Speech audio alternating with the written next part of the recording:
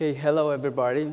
I'm Juan Manuel Carrillo, and I'm currently working as GIS leader of a very talented group of geospatial professionals in Bogota, Colombia.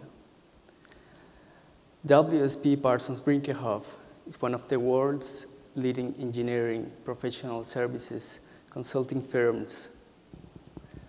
Our expertise is focused on five main market sectors, infrastructure, buildings, transportation networks, energy, and environment. WSP has approximately 34,000 employees in more than 500 offices across 40 countries worldwide.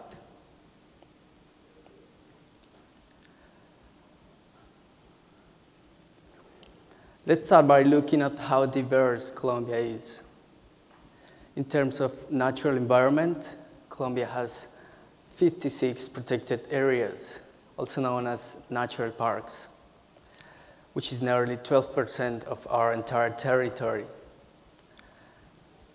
There you will find very steep mountains, deep valleys, deserts, jungles, and so on. Have you ever asked yourself about how many bird species does your country have? Well, Colombia has the largest bird list of any country in the world, with at least 1,800 recorded species.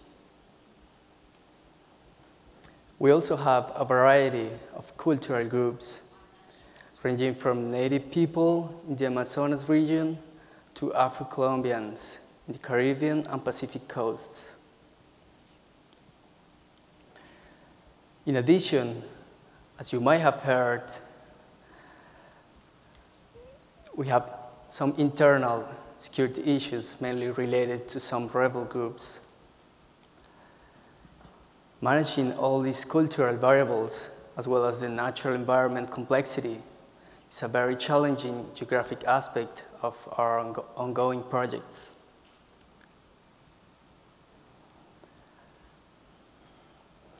In our projects, we see GIS as a powerful set of tools which give us significant advantages to capture, storage, manage, analyze, visualize, and ultimately share geographic information. Specifically in Colombia, we have been using mainly ArcGIS Desktop to address many of the GIS requirements of most projects. Let's see some examples. On the left photograph, you see a high voltage transmission line. This project, we used ArcGIS to perform environmental assessment, planning, and seeding. At the top right example, we have a water project. Here we run a spatial analysis model that gave us an insight about how to optimize our storage and distribution system. And finally, at bottom right, you see a road redesign project. In this one, ArcGIS becomes so handy to supervise all the necessary modifications of our existing electric, and water networks along the road.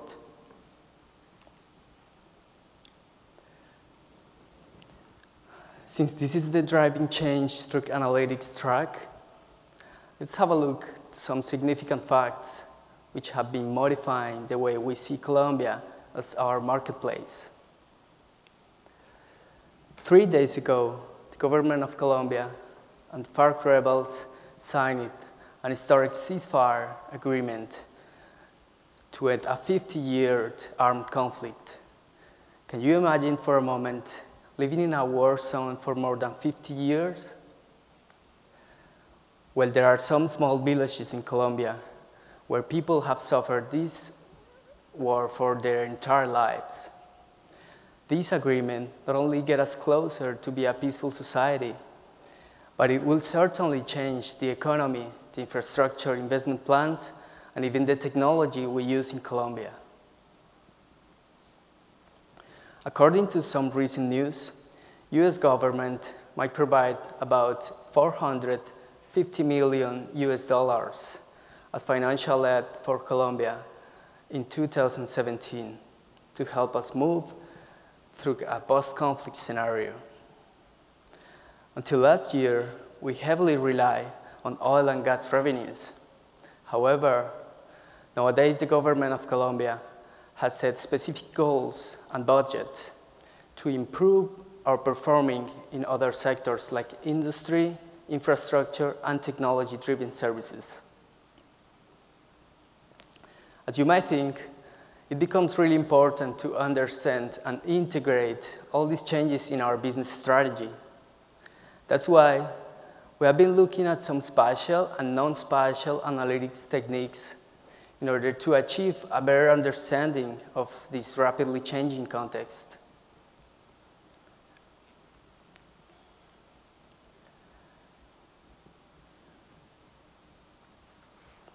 Here I'm going to tell you a brief description of uh, an automatization process that we are doing to analyze spatial and temporal variations of the planet government contracting expenditure.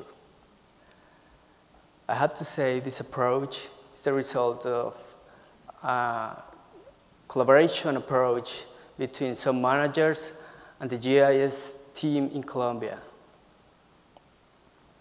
According to the law 1712 of 2014, better known as the Transparency Law, all the government agencies, including regional authorities at every level, have to publish on a specified website at the beginning of the year a complete description of their planned contracting expenditure for the months to come. This data, however, is being released as unstructured spreadsheets. So we begin by designing a Python scripting tool which takes hundreds of spreadsheets and automatically filters and organizes them into a data model implemented in a ArcGIS geodatabase. At first glance, we visually confirm that, well, there are sectors like oil and gas which are very spatially concentrated. There are also some others which are present over wide regions in Colombia, like transportation networks.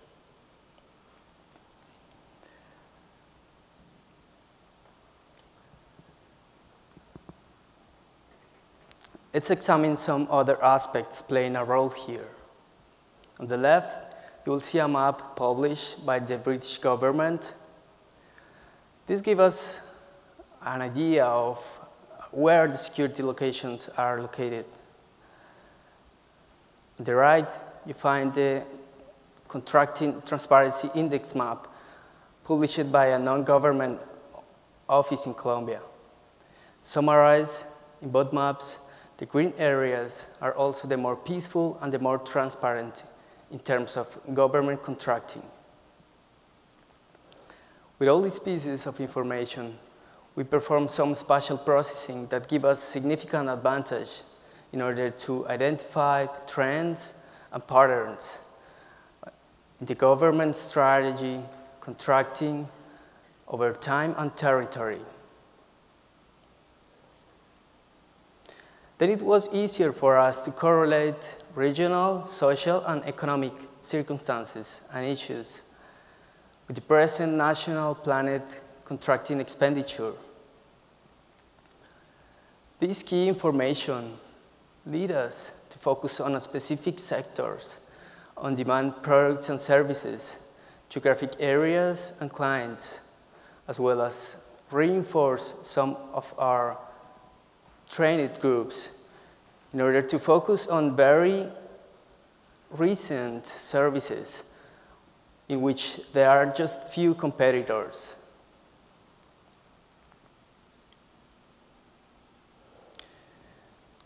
All those interesting findings also lead us to explore what opportunities do we have to take advantage to newer technologies.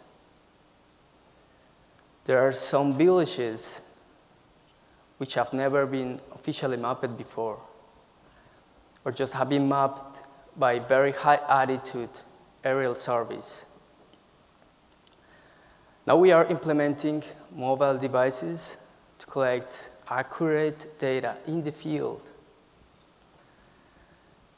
we're also working on some opportunities to use drones to get precise maps of our natural environment and built infrastructure.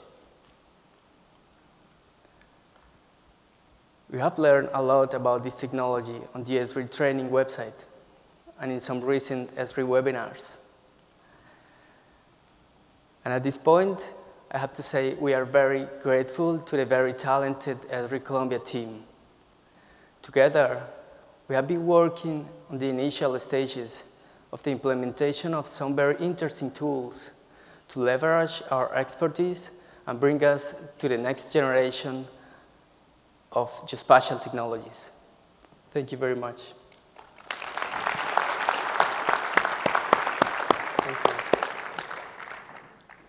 Thank you. Quick question for you. I notice um, your reference to drones. Maybe can, th th this is something we talked about a little bit in yesterday's session as well in the insurance area. Can you share a little bit about how you see drones fitting into your business as it evolves? Well, when it comes to drones, we have been working very hard on two main aspects. The first one is uh, related to some legal constraints that uh, the government of Colombia have released over the last months. Okay. And the second one is about uh, specific technology that uh, can be used to achieve a better approach to uh, some specific engineering projects uh, by using like thermal cameras, mm -hmm. conventional cameras, LiDAR sensors, sure. and that sort of things. Um, so we really uh, see a very great opportunity here to uh, not only use those kind of devices and sensors, mm -hmm. but also uh, integrating them with uh, uh, some Esri software that has been uh, uh, that has been looking as one of the most useful tools to integrate all this processing mm -hmm. in a very well-defined workflow. Excellent. That's excellent. Thanks, Mike. I look forward to that. Thank you very Thanks. much. Thank you.